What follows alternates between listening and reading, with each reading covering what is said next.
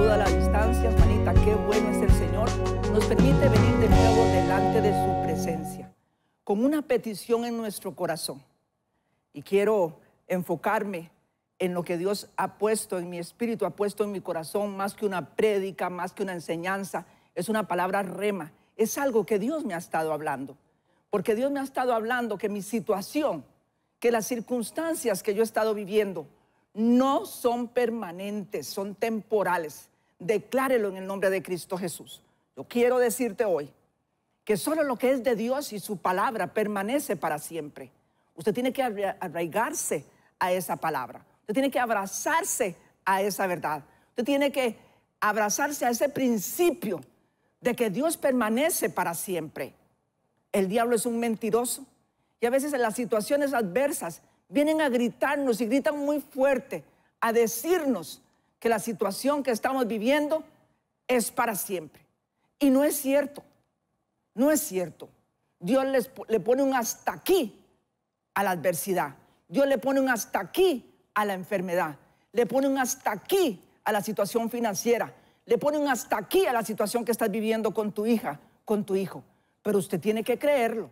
Usted tiene que alzar la voz. Usted tiene que levantarse y decir, esta situación no es permanente, esta situación es temporal. A veces nos toca vivir temporalidades. A mí me ha estado tocando vivir una temporalidad con mi salud, pero yo he estado declarando la palabra. Yo he estado declarando las promesas de Dios. Yo he estado creyendo lo que Dios ha dicho a mi vida. Todos los días, como he ministrado en otras ocasiones, yo vengo a ministrar a mi cuerpo y le digo, lo que la palabra de Dios dice, no lo que el diablo quiere que yo diga, no lo que el diagnóstico dice, no lo que el estado financiero dice, sino con lo que Dios nos ha ministrado. Y Dios me ha estado hablando de que el tiempo de Dios es perfecto y que lo que Dios se dispone a hacer prevalece para siempre. Declárelo, lo que Dios se dispone a hacer prevalece para mis hijos, prevalece para mi familia, prevalece para mi salud, prevalece para mis finanzas, la situación donde sea. Corra al teléfono. No espere que yo termine de compartir esta palabra para usted ir, ir, al WhatsApp y poner ahí su circunstancia, poner su situación. Tal vez usted está desgastado, está desgastada, esta situación ya lleva mucho tiempo, pero yo vengo a decirle, Dios le va a poner término créalo, créalo, declárelo. Dios le va a poner término a esa situación. Así fue como sucedió con el pueblo de Israel.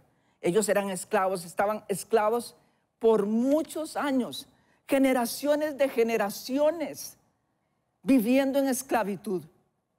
Pero se acercaba el tiempo, se acercaba el día del cumplimiento de la palabra de Dios. Ellos salieron cuando tenían que salir esta situación en tu vida, en la vida de tus hijos, se acaba cuando tiene que acabarse, cuando Dios lo determina, porque nuestra vida está en las manos del Señor.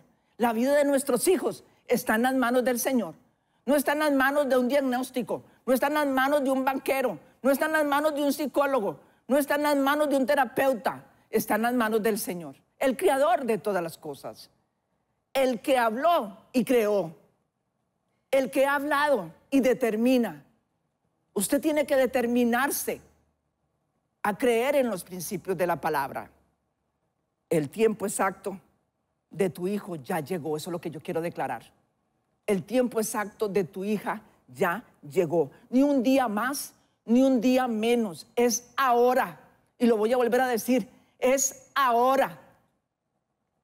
No es dentro de un mes, no es dentro de tres meses, cuatro meses. Ahora, corra al teléfono, levántese en fe. Límpiese sus lágrimas. Deje de meditar en lo que le han dicho. Deje de meditar incluso en lo que usted está viendo. Deje de meditar en lo que está sintiendo.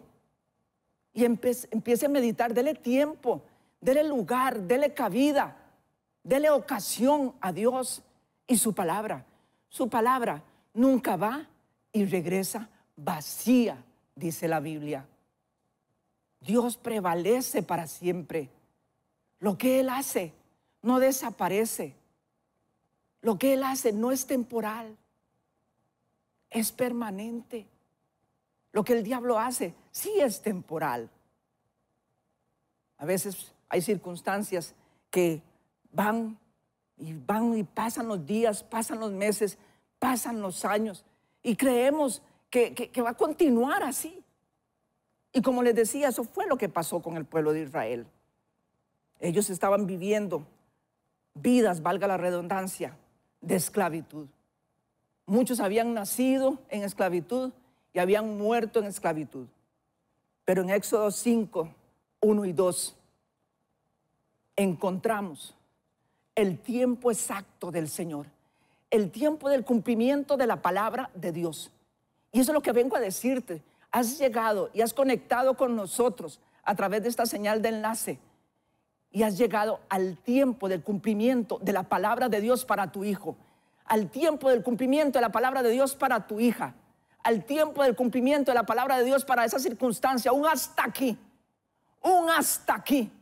Basta ya, no más, en el nombre de Jesús. Dice Éxodo 5, 1, 2. Después de eso, Moisés y Aarón se presentaron ante el faraón y le dijeron, así dice el Señor, nada más y nada menos. No era cualquiera el que estaba diciendo. No era un capricho de ellos. No era un capricho de hombres. Y esto no es un capricho de hombres. Esto no es un capricho mío. Esto es una palabra rema que ha venido del mismo trono de Dios para que te levantes y declares que tu situación no es permanente, que esa situación es temporal. Dice, se presentaron ante el faraón y le dijeron, así dice el Señor, y Dios de Israel, deja ir a mi pueblo. Algunas versiones dicen, deja ir a mi hijo para que celebre en el desierto una fiesta en mi honor. ¿Y quién es el Señor? respondió el faraón, para que yo le obedezca y deje ir a Israel. Ni conozco al Señor, ni voy a dejar que Israel se vaya. Vea qué prepotencia de faraón. Y es que el diablo es un prepotente. Él viene a engañar. Él es el padre de la mentira. Y te ha querido engañar haciéndote creer que no vas a salir de esa situación, que tus hijos no van a salir de esa situación. Pero yo vengo a traerte otra noticia del cielo. Esa situación no es permanente, es temporal. Has estado viviendo una temporalidad, pero eso se acaba en el nombre de Jesús. Porque es más grande y poderoso el Dios que te crió. Es más grande y poderoso el Dios que puso tus hijos en el vientre tuyo, mujer, o en el vientre de tu esposa, varón. Pero levántese a creerle al Señor. Medite en sus palabras, medite en sus preceptos, medite en sus promesas. Glorifique a Dios, levante sus manos y desde ya dele gracias al Señor por lo que está haciendo porque yo declaro que ya está haciendo en la vida de tus hijos.